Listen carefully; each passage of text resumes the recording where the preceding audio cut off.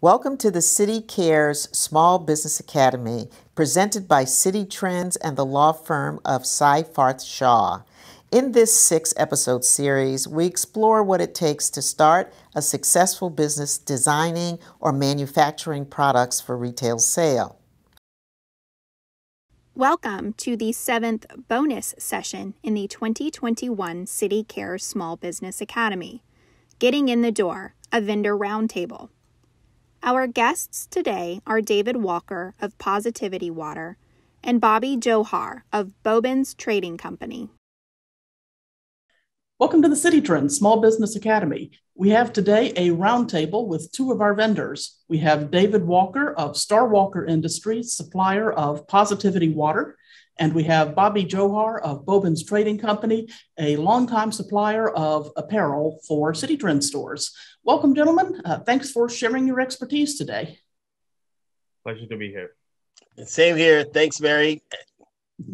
All right, great. Well, I'd love to have y'all introduce yourselves uh, briefly to the audience. Uh, Bobby, would you care to go first? Sure. Um, I go back with Citi Trends all the way back to 1996 uh, when I started my company. And um, back then, there was no Citi Trends, there was Allied department stores. And I believe there was a total of 50 doors back then, maybe a little under, shade under 50.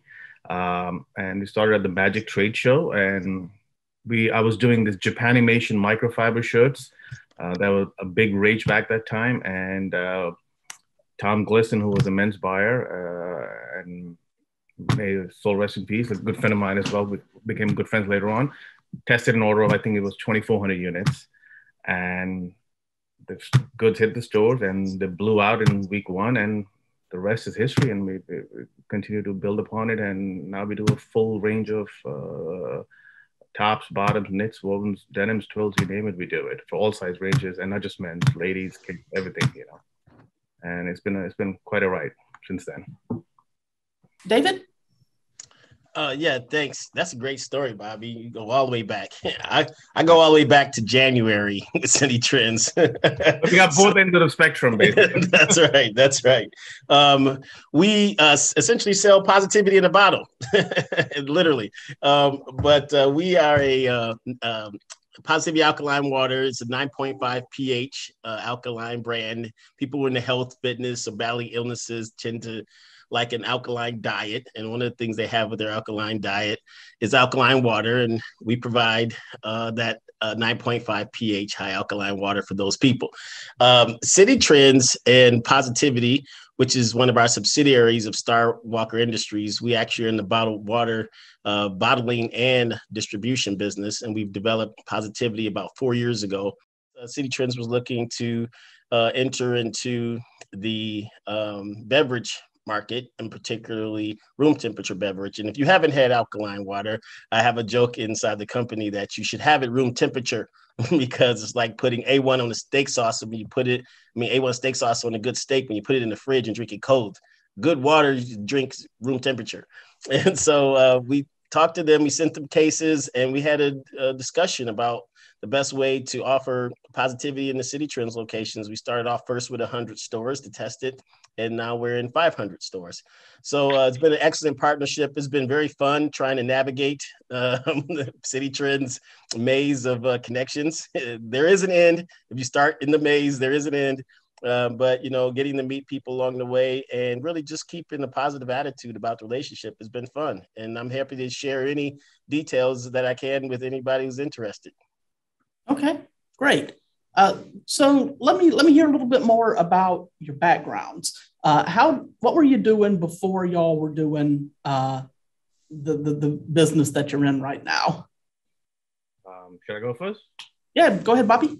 Okay, so um, my family is was in the ladies business, but they were doing missy wear, nothing to do with Citi Trends. They were in the department store business. So I wanted to do something on my own. I did not want to be a part of the family business.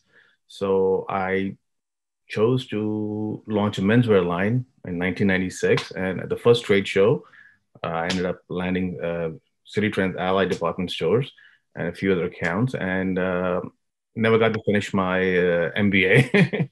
uh, did my bachelor's in finance and um, was supposed to work on Wall Street, but I guess wasn't in the books.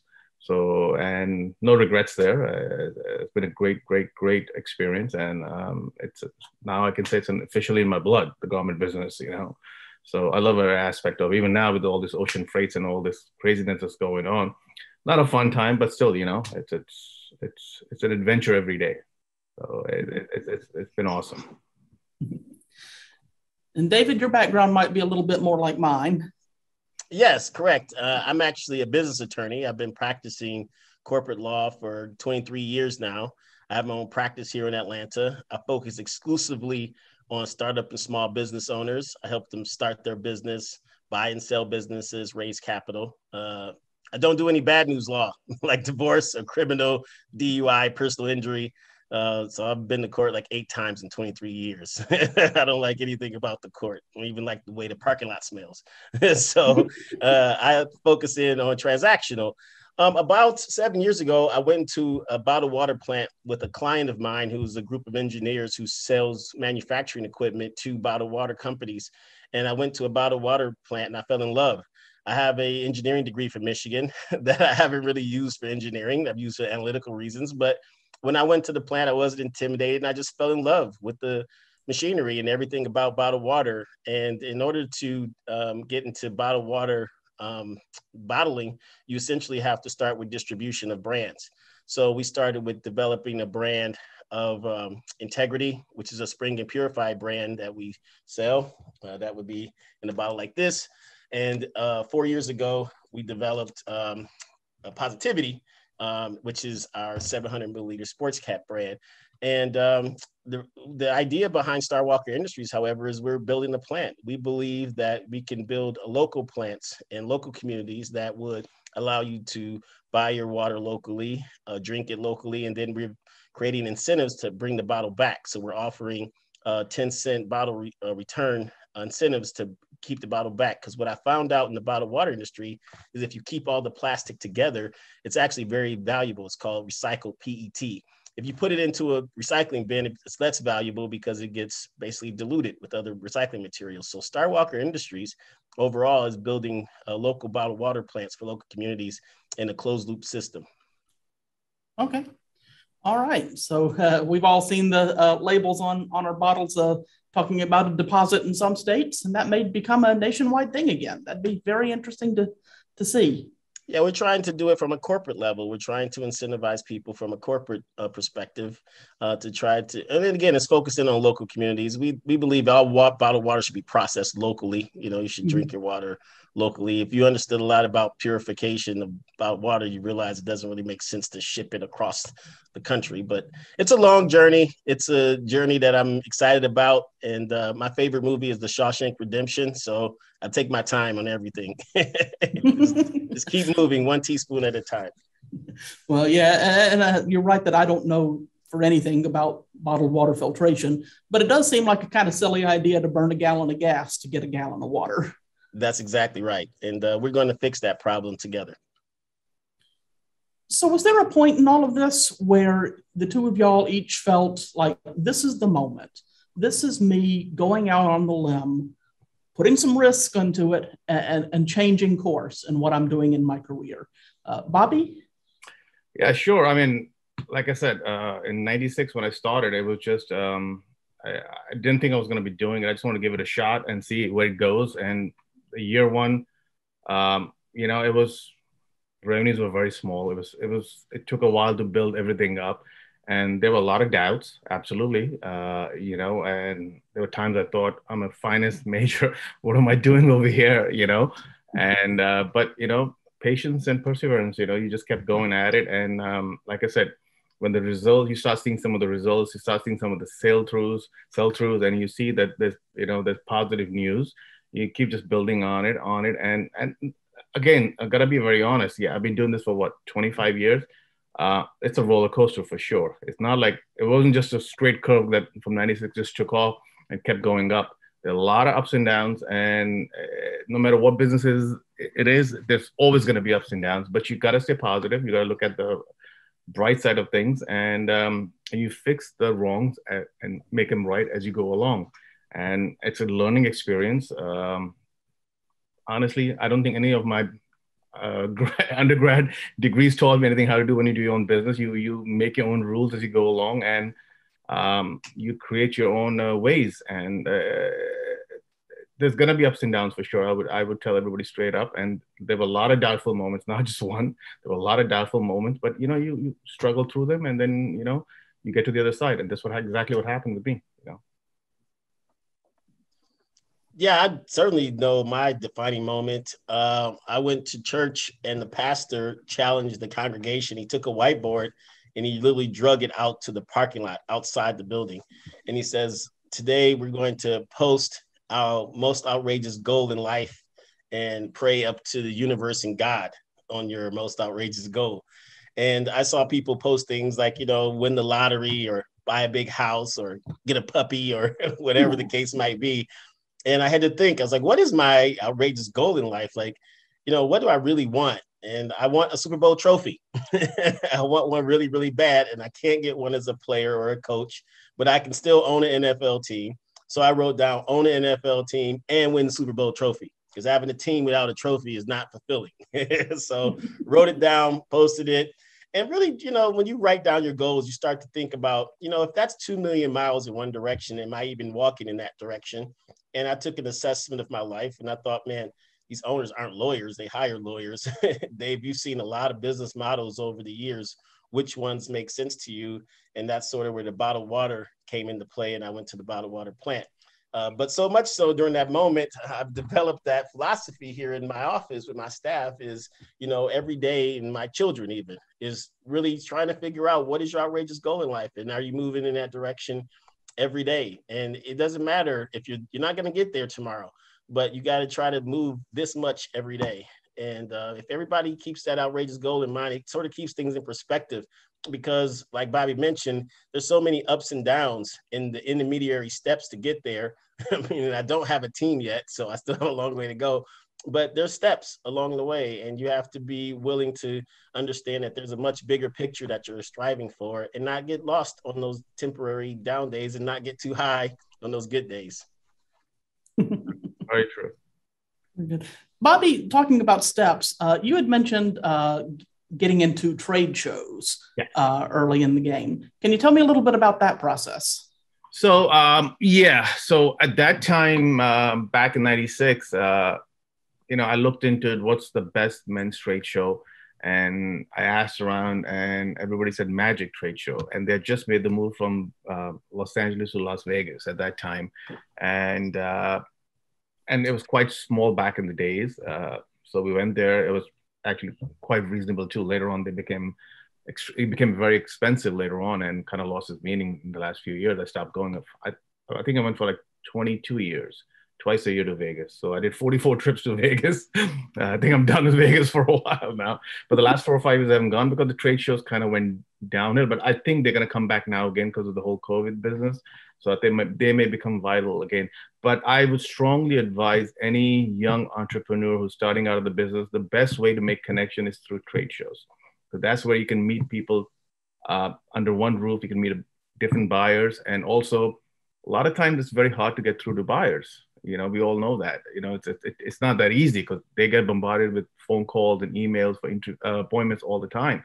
So it's it's it's a better chance of you catching them in a trade show, getting to show them your product line, introduce yourself, and I always found that uh, that's like the stepping stone uh, in this business is, is to get into a good trade show and say hello and hi to the buyers and the management because they're all walking around, and, and that's how I did, and that's that's what helped me a lot in our last session with uh, Lisa Powell, uh, she had mentioned uh, quite a bit. Uh, differentiating that product is so important. Yep. Uh, and whether you're doing that in person or trying to do it uh, pitching by email or phone, right. It, you gotta you gotta be able to express what makes your product it's so much more yeah exactly so much more clearer when you have the sample hanging in the booth they can touch and feel the product as opposed to you know doing it over the email then trying to convince them hey listen my product is good. Why don't you come by and see me in the showroom? Or you know so or can i come by and see you? Uh, but when they actually see it and they like the product it tells a whole different story. And it, makes it a lot easier. So i, I do believe uh, it's, it's, it's a very strong stepping stone and, and that's that's not just true for apparel, uh, David. Uh, I know you've uh, supplied positivity water to our headquarters here. I've seen the bottles uh, floating around. Had a few of them myself. Uh, great product, but it is it helps to, to get that tactile feel for for what you've got there, or, or, in in your particular case, to literally taste it, to to get that going. What do you do, David, to get your product in front of potential buyers? Well, a lot of times you have to listen. Um, you just have to listen to what makes sense for other people. So many times, even when you're in the business, you're so much in the sell mode and you're trying to always push something in front of someone, but you have to listen to what their problem is. You have to listen to what the things the buyer's going through and really build relationships from that and sometimes be more helpful than sellful right is, just really you know trying to keep your ear to the ground one of the things we do here at positivity is we have touch points with anybody who engages with us whether it's through instagram or through email etc we create a system in which we're going to have a touch point to them to listen because if people take the energy to reach out to you in any sort of way touch your bottle buy your bottle touch to you on email we try to return that energy. And sometimes it goes somewhere and sometimes it goes nowhere but we try to listen to what the reasons why they might be motivated into reaching out to us and that's no different than what happened with uh, Citi Trends is that we listened to some of the things that they were facing they really wanted to have an impact on the uh, black owned business market and talking to some black owned businesses and they understood about shelf space. So, for example, we set up so we shipped out uh, stands to all of the locations so that we could be more accommodating to them because trying to find shelf space and saying move these other things out the way so you can put our bottle uh, really you know it's going to be a more challenge for them. So we said, okay, we hear you, we understand the issue, and this is the solution that we're going to provide. And I think oftentimes so many people sell so much to buyers that they're not really paying attention to what the buyer is looking for and what some of their things are. So what I would say to a lot of startup businesses or a lot of businesses that are looking to do business with companies like Citi Trend is just listen to your contact and, and, they'll tell you. If you listen, they'll tell you what they're looking for and the things that is a challenge for them. And then you try to make it happen from that perspective. All right, great. So, so talking about startups and getting started at the very beginning, uh, it sounds like both of y'all had some great resources to draw on in terms of expertise and people you could talk to, consult with. Uh, who would you say you would consider mentors in, in your uh, startup process? Uh, Bobby, if you'll go first. Um, there's not a one particular uh, name that comes to mind, but you know there were a few different people that uh, helped me tremendously by advising me, uh, you know, uh, giving me sound advice.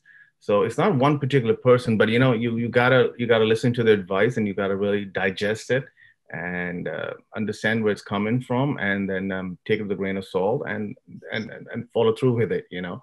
Um, so there's not one particular person I would say to be honest with you. It's just uh, it was a f- few different people. I was fortunate to be in their company that gave me good sound advice, and I built upon it. And again, it, it wasn't easy. It was a tedious process. I'm not gonna lie, uh, but you know you have to have patience and you have to have to um, be positive. So I know David likes that. I could see the I could see the plug coming in. but uh, yeah, uh, so yeah, you have to be positive, and you know that's that's more than half the battle right there. So mm-hmm. uh, so like I said, was, I was fortunate enough to have a few good people who gave me sound advice who'd been in the business and um, and I listened to it. As mm-hmm. simple as it sounds, uh, I, I did listen to it and I took it to heart and that helped me uh, tremendously.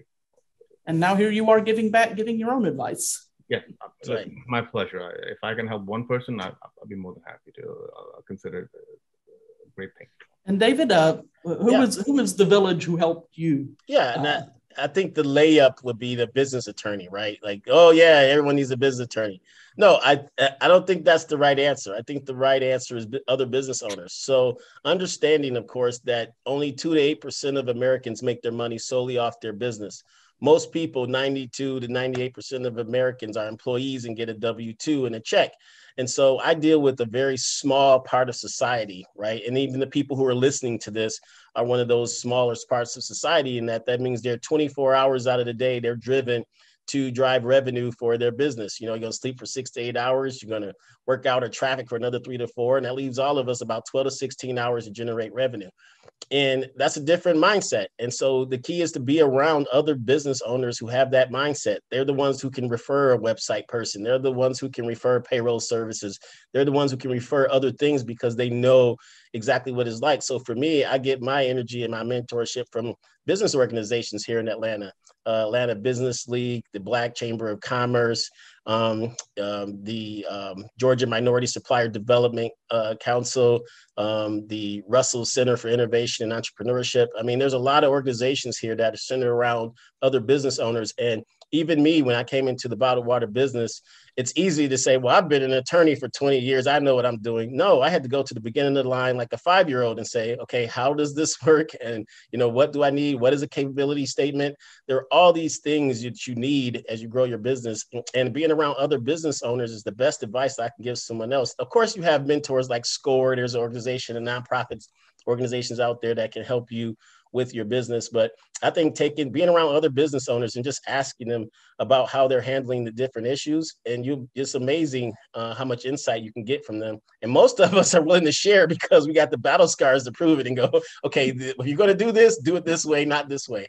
So I would say to anyone, you know, get into an organization that has other business owners where you can sort of share ideas um, as you get higher up, there's CEO table events where CEOs, you know, congregate among themselves and cry on each other's shoulders about, you know, their issues in the company. But I think staying inside of an organization that has other people who have like-minded ideas and staying in that two to eight percent um, of people who are trying to do this like you is the key.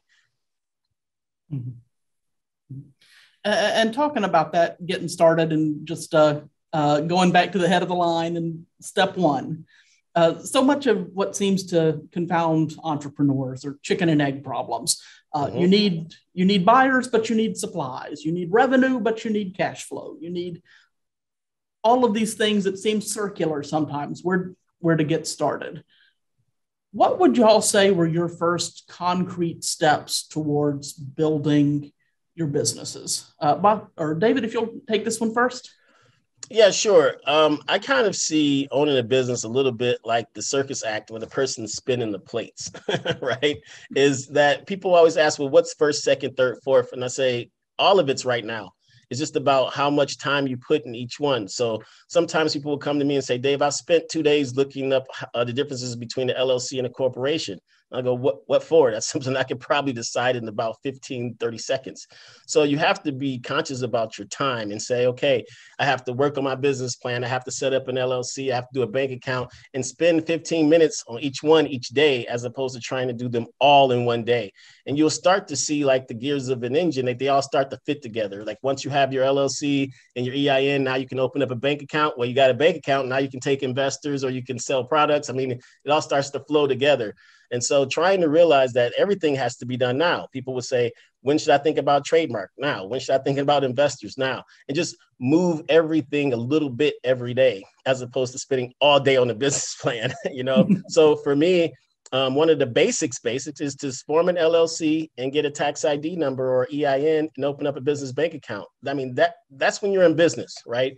And the LLC allows you to have your born on date or your birth certificate for your business and your EIN from the IRS allows you to have a social security number, like right for your this is like the social security number for your business.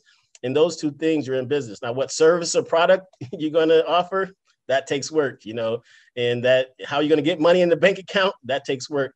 But that's sometimes one of the stumbling blocks that kind of gets people started. But you're right, it is a circular argument because all of a sudden you have a guy saying, "Oh, you need to outsource things you don't understand and go out and find contractors to do your website."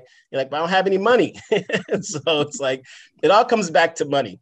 So mm-hmm. um, one of the things that I like to, you know, offer to everybody out there is when it comes to money, um, you just really have to answer four questions for investors, and investors can be anybody from your mother, father, cousins to coworkers to angel investors, institutional. They all want you to answer four questions. They want you to answer one, what do you do? Uh, number two, why are you good at it? number three, how much money do you need? And then number four, what does the investor get for it? And I think that when people sit back and answer those four questions and they write them down after they learn them verbally, you write them down, that's the makings of a business plan. And that's how you attract investors. So a lot of times people are afraid to go to their family members about uh, money for start their business, but that's because they haven't prepared. You're afraid because you know you haven't prepared. Like anybody who's in the public speaking knows when you talk about things you're not sure about, you're not going to sound very good. So what I tell people is take the re- time to research on how much money do you need. Meaning that a lot of times they'll say I need about fifty thousand dollars, and I'll tell them, well, if I wired you fifty thousand dollars tomorrow and you have fifty thousand one hundred dollars in your account, what would you do? Besides press F5 a bunch of times to make sure it's there. and a lot of them will say, well, I'm going to go find a location or I'm going to go look for a person that does this. And I would say, well, to an investor, I want to put that 50,000 back into my account until you go and find those things. So I tell them, spend like you have the money in your account so you can start to be ready. And the more prepared you are, the more investors are greedy and it triggers their greediness factor because they know it's going to happen with or without you, with or without them. And that's what investors want. They want, they don't want to help you. They don't want you to be ignited by their money. They want to know this is going to happen with or without me. And so therefore I want to jump on board. And then, of course, figuring out what they get, that might be a little bit more complicated. sometimes it's a promissory note, sometimes it's shares in the company that you might consider an attorney to discuss. But all the makings to get your business started is right there in front of you. You just got to have the confidence on how to put it together. Mm-hmm.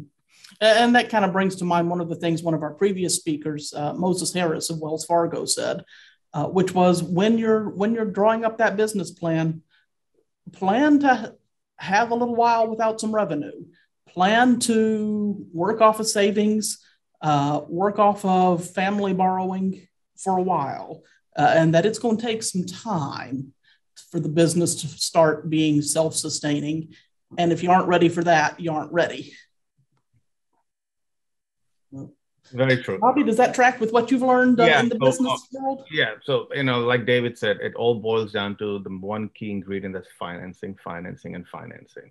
That, mm-hmm. that really is, uh, you know, it's, it's the core of all this. And, and it's the toughest piece to land, let's be honest.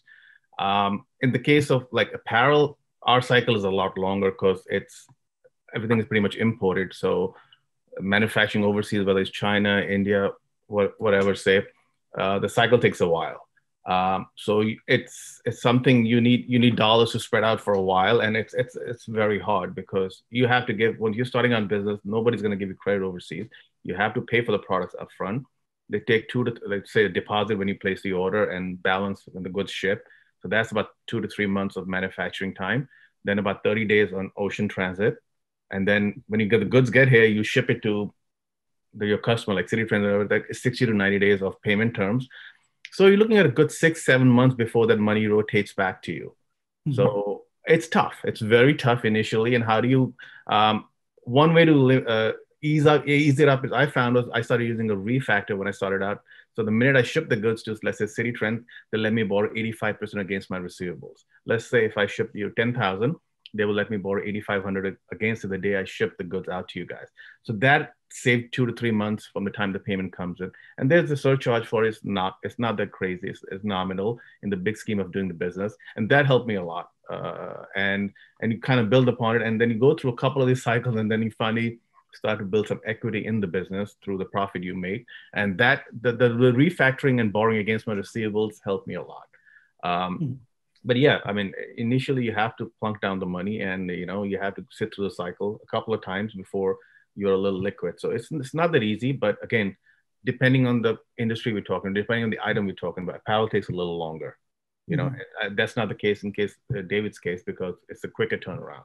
So oh no, it's still okay. it still, uh, I apologize. Still has its challenges. it still has its challenges. no, no, I mean, of course it does. But I'm just saying that the yeah, yeah, yeah. Might no, it's nowhere near shipping it from China. That's for sure. Yeah, I agree with well, you. Especially these days. Going. Yes. We have nightmares going on with that right now. With the whole ocean freight jumping up six times. You know, uh, so you know, every aspect has challenges, and you just gotta learn to work through them. That's it. You know, uh, but financing mm-hmm. is the key. Yes.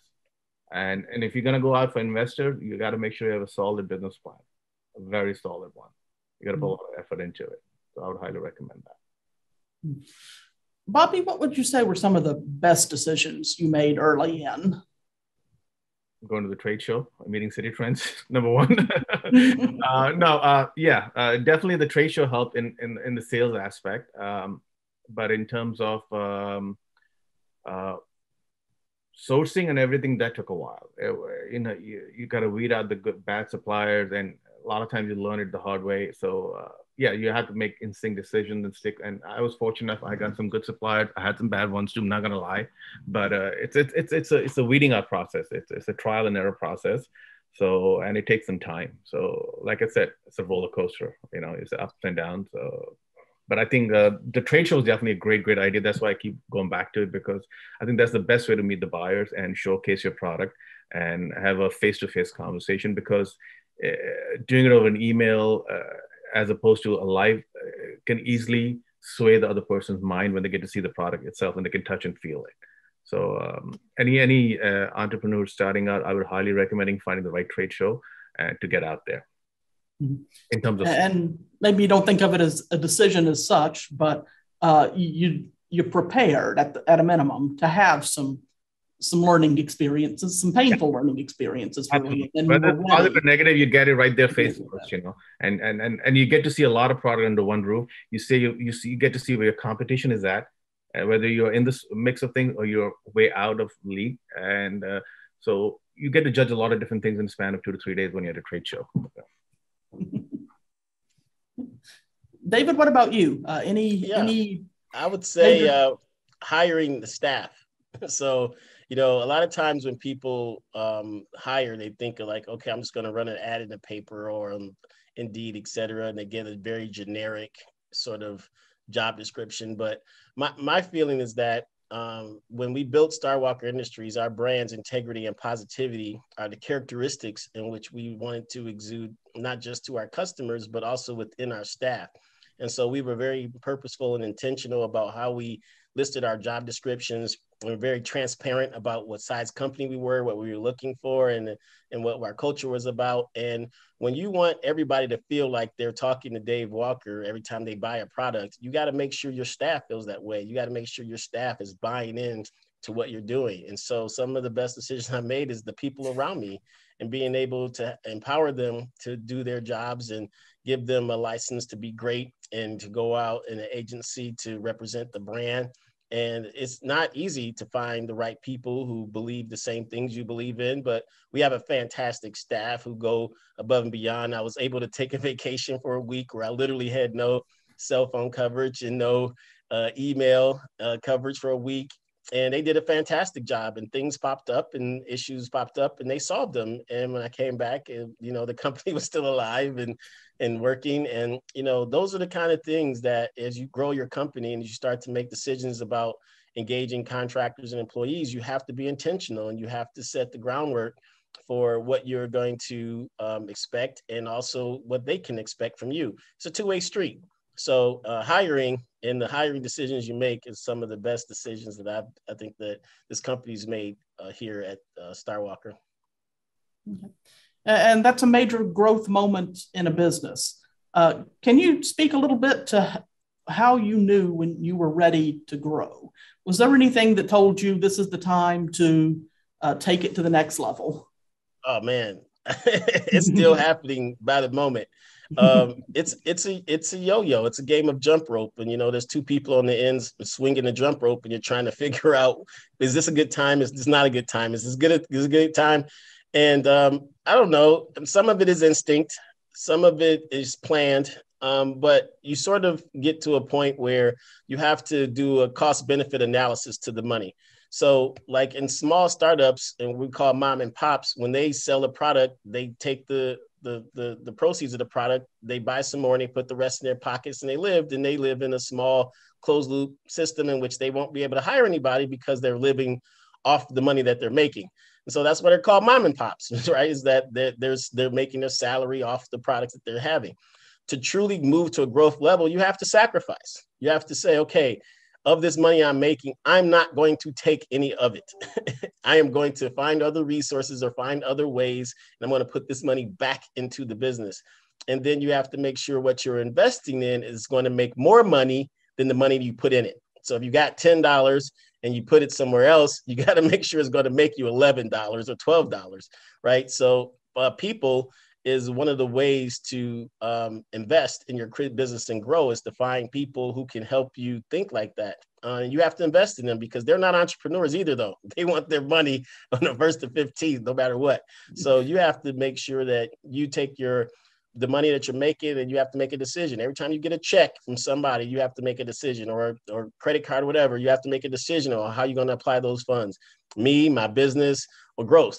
And I've chosen growth from day one. Is I always wanted to put the money back in. Now I'm a business attorney. I have a separate practice that generates income for me and my family. So yeah, I maybe have a little bit of an advantage there, but that wasn't easy either, growing my law practice and hiring a law manager and other attorneys.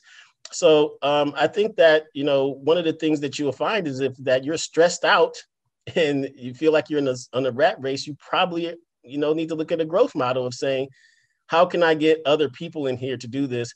And the key though, Mary, is that if you do free up your time, how do you become more efficient? Because you're like, okay, I don't have to do the books anymore because I hired a CPA or I hired a bookkeeper. The question is, what are you going to do with that time now? Are you going to do like Bobby and say, well, with this free time, I'm going to go to a trade show? Are you going to do something to advance your business or are you going to go finish that Netflix series you're watching?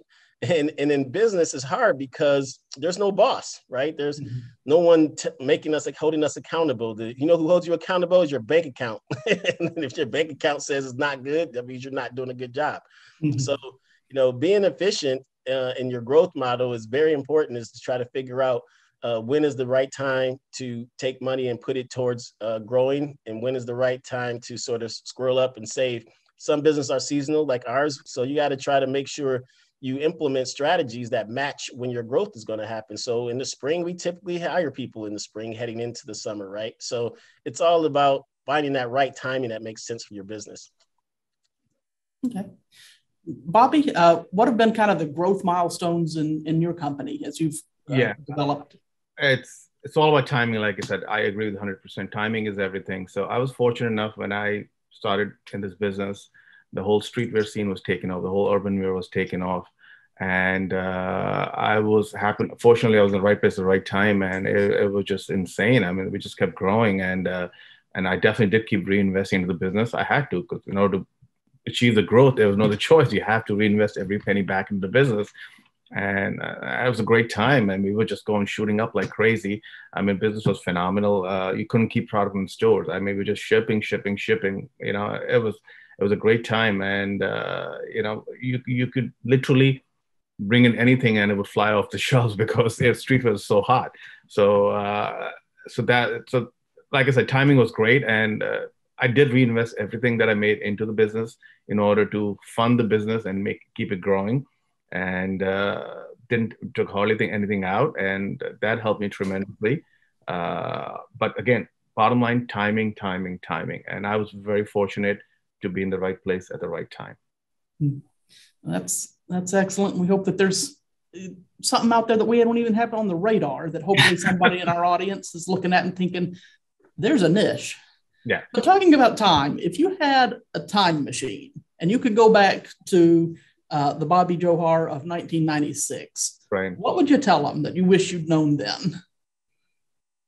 Um, I would tell any budding entrepreneur that listen, when it when it's the growth is going up, it's great, but you gotta be prepared for when it comes down.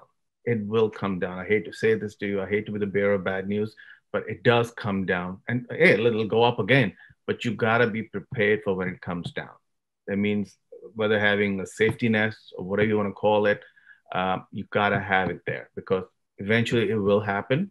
And not to say it's not going to go back up again. Like I said, it's a roller coaster. It's like a, mm-hmm. you know, so you have to be prepared for it. That's the, I think the most important thing. When it's good, when the going is good, it's great. Listen, listen, you, are like plucking away, shipping, shipping, shipping, this, that.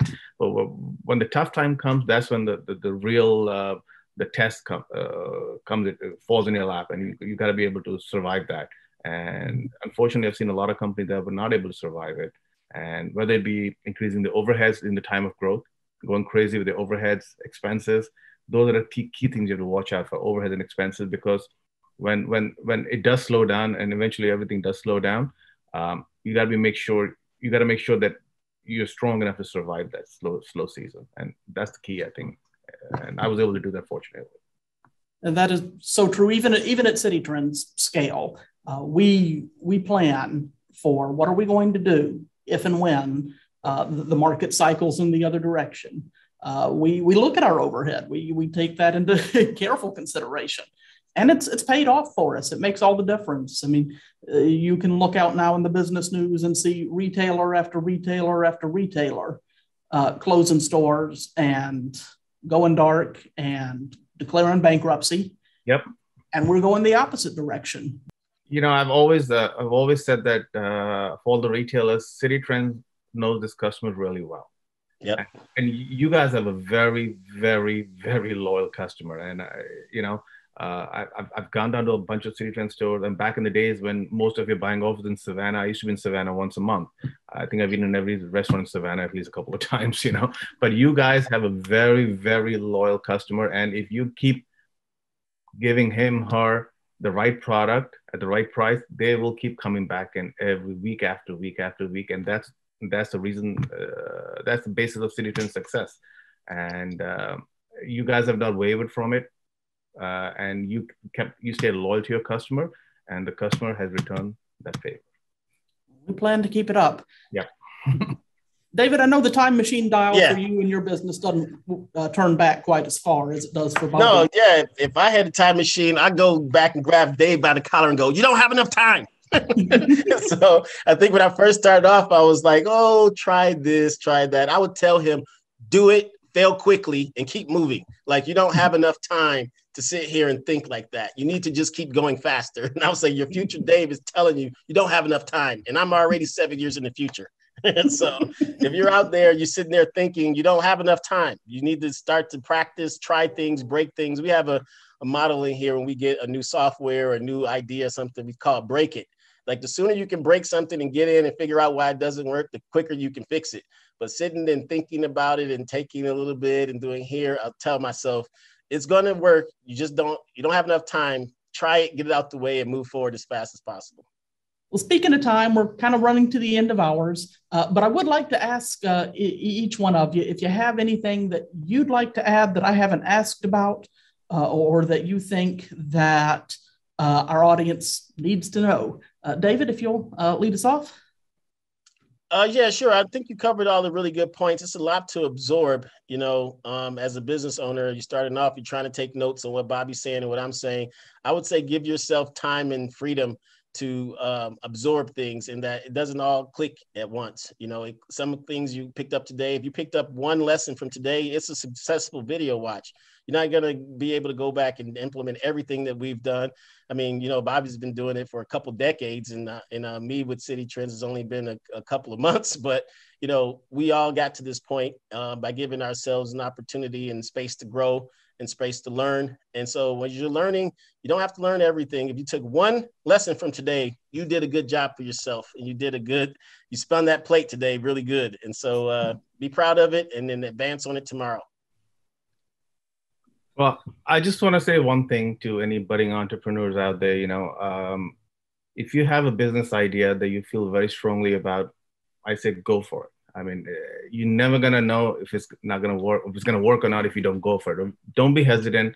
Uh, I mean, do your due diligence, obviously, the proper business plan, like we went through earlier in the session. Uh, make sure every angles are lined up, but you gotta give it a shot because if you don't, you're never not gonna know if it's right or not. Uh, so I, I, I, I, highly, highly, uh, strongly recommend. I had this hunch, I went for it, and thank God it paid for me in, in the long run. Uh, but you know, if you, if I didn't if I didn't follow through with it, like I said, I was a banking and corporate finance major. You know, if I didn't follow through with this, I wouldn't be sitting here today. So I, I got to go for it. That that's all, all I can say. You know. All right. Well, thank y'all both so much for making the time to sit with us today and uh, talk to the next generation coming up. Uh, look forward to hearing back more from the two of you and from uh, our listeners. And uh, get out there, start start spinning plates, as David has put it. all right. right. Thank y'all. Positive, positivity. Thanks all. Yeah, nice meeting you all. Good luck to all. Take care. Bye bye. Thank you for joining us for this session of the CITIcares Small Business Academy.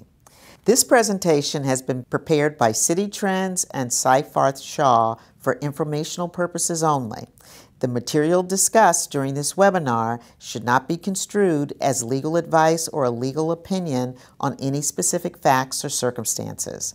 The content is intended for general information purposes only, and you are urged to consult a lawyer concerning your own situation and any specific legal questions you may have. Please leave any questions or feedback in the comments section below. For more helpful links and more episodes, please visit the CITIcares Small Business Academy YouTube channel.